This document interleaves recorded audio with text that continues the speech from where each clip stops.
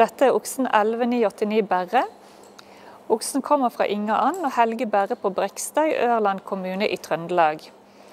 Det er en horna okse med 11785 Brakstad som far og 10923 Prestangen som morfar. Oksen her har høye verdier for mange egenskaper. Og De som kommer best ut, det er melk, og det gjelder både melkemengde og innhold. Fruktbarhet, jurhelse, klauhelse og jur. Den er noe svak på utmelkingshastighet, men den er god på lekkasje. Av juregenskapene så er det jurbalanse og speneplassering bak som utmerker seg med gode verdier. Og Dette er egenskaper som har betydning for å fungere godt i robotmelking. Og så kan det nevnes at eh, oksen her er en veldig god sædprodusent.